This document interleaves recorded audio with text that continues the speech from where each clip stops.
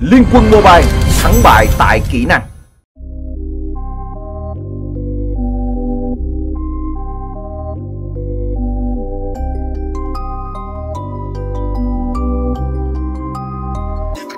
Vì mâu thuẫn với gia đình nên mình đã bỏ nhà đi khi còn là một sinh viên năm ba đại học. Mình thích chơi game từ nhỏ.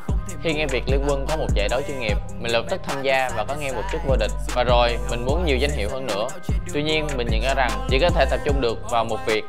Một là học tập, hai là thi đấu. Gia đình mình muốn mình tiếp tục học tập, nhưng bản thân mình lại muốn theo đuổi đam mê.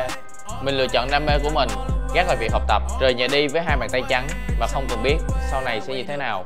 Cho đến tận bây giờ mình vẫn không biết rằng quyết định của mình là đúng hay là sai. Những ngày đầu bước vào game trust no hope fear no man. Đừng tin là bài học đầu tiên. Gotta go high gotta say hi. Bước tiếp và giữ đầu ngẩng lên dù mình đã có thành tích vô địch và có việc sang Mỹ thi đấu giải AWC nhưng đối với gia đình mình, game thủ vẫn là một điều gì đó rất là viễn vông và không chắc chắn. Họ đặt nhiều hy vọng ở con đường học hành hơn. Một tấm bằng cử nhân cùng với một công việc ăn lương đều đặn sau khi ra trường là điều bố mẹ muốn hơn là việc chơi game. Thế nên, đương nhiên họ phản đối kịch liệt việc tôi trở thành một game thủ, trở về từ Los Angeles. Dường như có điều gì đó thôi thúc bản thân mình. Có lẽ việc mình quyết định rời khỏi nhà chính là bước ngoặt lớn nhất tạo nên tính cách của mình bây giờ mình có thể làm những gì mình thích và không cần suy nghĩ quá nhiều về quyết định của bản thân. Đâm lao rồi thì phải theo đến cùng. Đó là kiểu của mình và bằng vào đến từ đồng nam. Đồng nam đang lấy bạo của tất cả thành viên bên phía của đội tuyển F1 họ đã tan vỡ rồi. Tràn lên cú triple kill của Allen. Và như vậy là sẽ có một tình huống quét dơ dành cho bên phía của đội tuyển Sơn Phantom. Nói với đồng nam thì mình nghĩ về tính cách của đồng nam thì nhưng mọi người cũng biết khá khá là rõ. Thì đồng nam là một con người cũng khá là lém lĩnh và cũng rất là sôi nổi.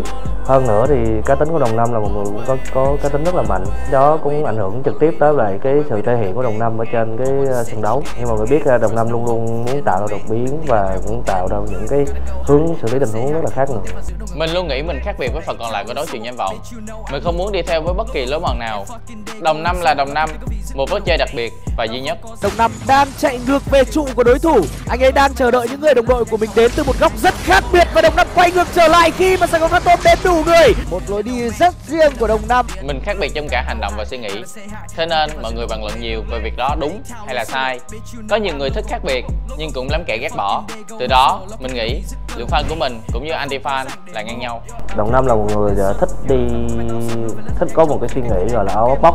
Tức nghĩa là đi ra khỏi cái những cái phạm trù mà những người bình thường hay là những huấn luyện viên hay suy nghĩ hay là lối suy nghĩ của các bạn tuyển thủ khác. Cá nhân đồng năm là một cái tuyển thủ rất là có cá tính và rất là đặc biệt ở trong môi trường tranh bóng. Up. Tao còn phải bước tiếp see you later. Từ dưới đáy giờ tao ở đây Nhiều dự án còn đang dở tay. King hot man every day Cố gắng chiến thắng nằm trong đêm say. Chiến thắng đến sau vài lần Mình tự quyết định mọi chuyện quan trọng trong đời mình.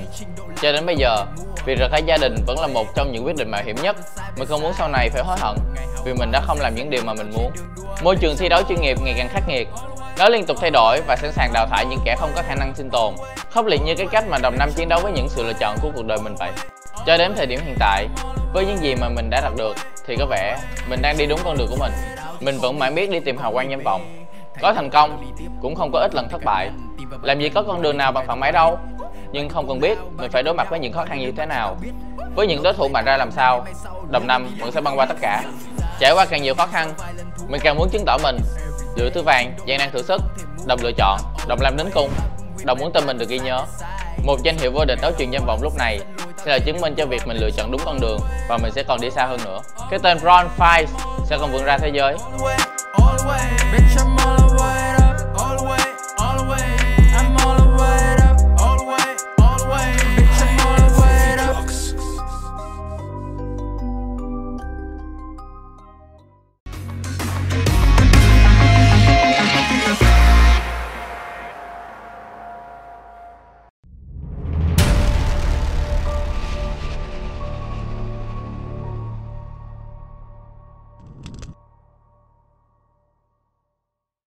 Like ngay fanpage Cao Thủy Liên Quân và subscribe kênh Liên Quân Mobile Esports Garena để cập nhật những tin tức mới nhất và những trận đấu esports đỉnh cao của đấu trường danh vọng mùa đông 2020 và các giải đấu liên quân trên toàn thế giới.